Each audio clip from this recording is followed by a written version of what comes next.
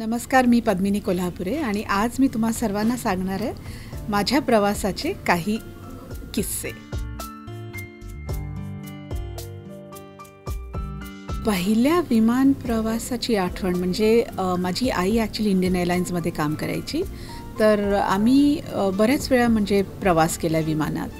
तर पहिला ॲक्च्युली प्रवास माझा असा होता इतका आवाज मला त्या इंजिनचा आला मला वाटलं काहीतरी गडबड होणार आहे. म्हणजे तो एक ती एक आठवण एकदम स्ट्रॉंग आहे माझ्या मनात. म्हणजे इतका कारण तेव्हा कॅरवेल म्हणून एक विमान असायचं. तर त्या विमानातून मी प्रवास केला आणि इतका जोरात आवाज तो एक मला खूप लक्षात आहे. मला ॲक्च्युली ट्रेनचा प्रवास मी जेव्हा चिमणी पाखरं सिनेमा करत होते तेव्हा मी कोल्हापूरला गेले माझ्या आई आणि माझ्या मुलाबरोबर. तर माझा मुलगा खूप लहान होता. तर माझी आई सतत म्हणजे जेव्हा प्रियांकला बाथरूमला जायचं जा होतं तेव्हा ती म्हणायची अगं अगं जा तू त्याच्याबरोबर बघ कुठेतरी पडेल आत कुठे नाही तर अडकून राहील वगैरे. म्हणजे सतत माझ्या आईचा तर एक ब्रोकन रेकॉर्ड होता.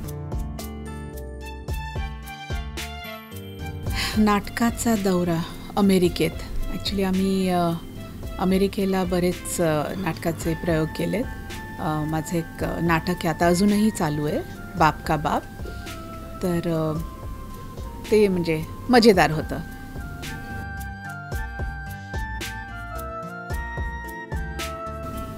माझ्या आई वडिलांबरोबर बहिणीबरोबर आम्ही जेव्हा लंडनला गेलो. कारण जेव्हा मी काम करायची तेव्हा मी ॲटलिस्ट चाळीस चाळीस पंचेचाळीस दिवस सुट्टी घ्यायची दरवर्षी. तर आम्ही लंडनला किंवा अमेरिकेला असं हॉलिडेजसाठी जायचो. तर माझ्या वडिलांनी ॲक्च्युली कानाला काढा लावला की आता ह्याच्यानंतर मी अजिबात इथे येणार नाही. कारण सगळे कारण माझे वडील आणि आम्ही तीन मुली आणि माझी आई. तर वडीलच बॅगा घ्यायचे उचलायचे. तर ते म्हणायचे आता ह्याच्यानंतर मी आता कुठेही येणार नाही. तुमच्या फक्त बॅगा मी कुली म्हणून येतो तुमच्यासोबत. तर मी आता येणार नाही याच्यापुढे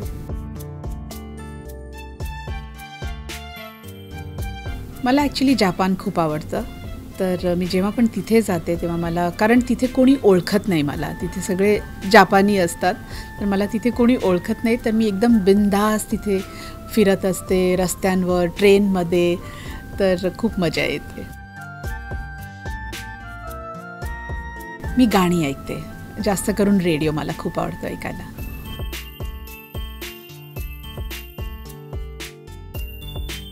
सहा कलाकारांसोबत असं नाही कारण आम्हाला वेगवेगळ्या गाड्या असायच्या आणि आमची ट्रॅव्हल डेट्स वेगळे असायचे. पण शूटिंगच्या वेळेस जर हॉटेलवरून लोकेशन वर जायचं असायचं तर मला वाटतं मिठून बरोबर कारण त्याची कॉमेडी सतत चालू असायची.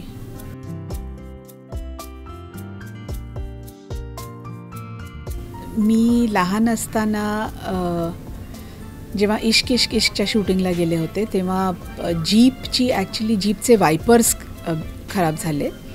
तर ते त्यांनी ती विंडस्क्रीन ओपन केली. आणि मी खूप लहान होते तर अख्खा बर्फ म्हणजे इतका स्नोफॉल होता अख्खा बर्फ तो आत येत होता आणि मी अशी एकदम गारठून गेले तेव्हा.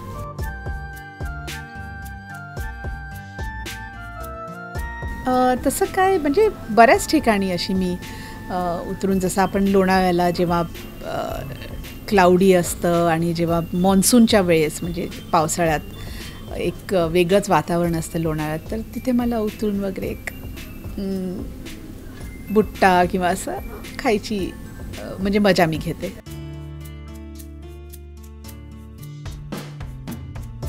मी खूप खुश झाले कारण मामांसोबत मला हा सिनेमा करायला मिळाला.